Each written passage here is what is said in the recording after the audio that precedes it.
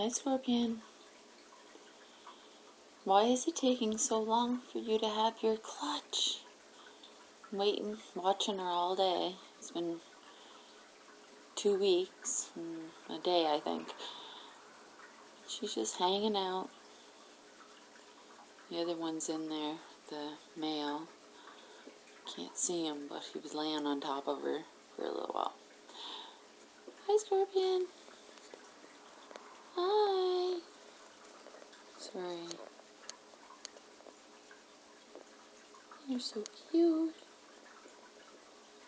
She has such pretty colors. I can't wait to see your eggs when they hatch. She's just beautiful.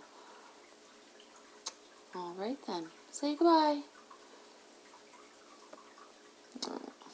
Bye.